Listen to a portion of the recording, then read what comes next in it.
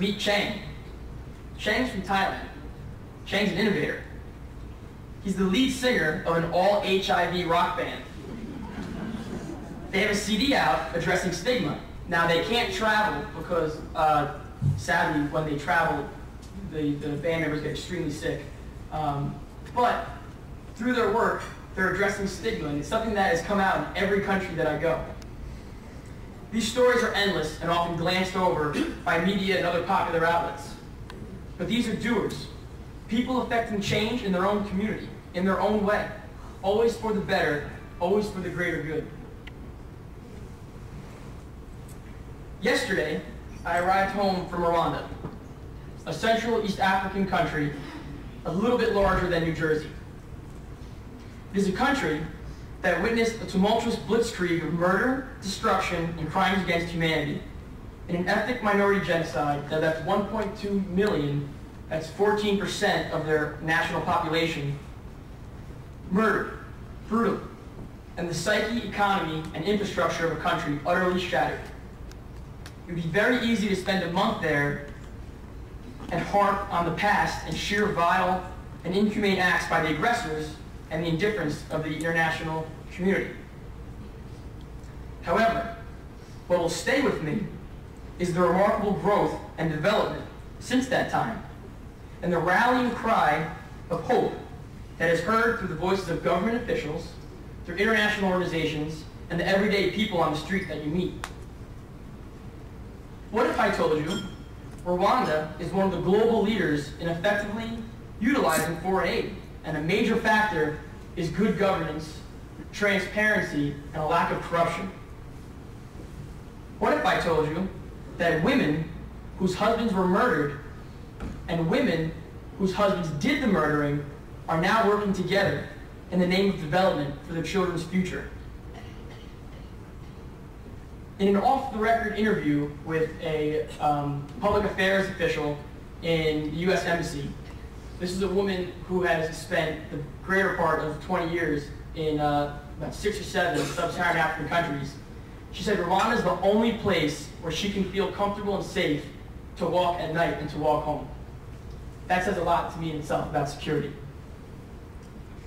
When I interviewed the ranking government official about HIV AIDS, she said it is almost a miracle. It was clear that the topic had sort of gone away from HIV. Paraphrase, she said there is a new spirit within Rwandans. It started with the government's policy of unity, of inclusion, and justice, and simply no revenge. The government wanted all its people back, even the killers. Admit guilt in a public forum serve a shortened sentence, and then most importantly, you must reintegrate into society. The mantra there is, we are not Tutsi, we are not Hutu. We are all Rwandans. There is a unified vision that everyone is rallying under, and it is development and peace. In Rwanda, they know, without peace, there is nothing. Our last five examples have all been individuals. Well, the first five examples were all individuals. The last one is people. It's Rwanda, it's community. It is people acting in concert. It is an example of goodwill, building on goodwill, of grace building on grace, of hope building on hope. The catalyst for such a reaction is the doer. It is our decisions. My decision, your decision. Our world has plenty examples of unjust systems and unforgiving realities. Things occur that are leaving us wondering why or how this happened.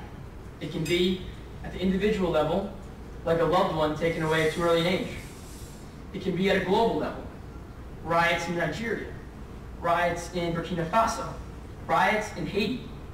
Because basic staples like, like rice and bread have now become out of reach commodities. But what can we do what can I do? We can think globally. We can act locally. I offer two websites to help in this process. Anyone has a pen, I would highly say, I would say you should write this down. One is called kiva.org, K-I-V-A.org. It's basically an, uh, an organization that runs microfinance loans.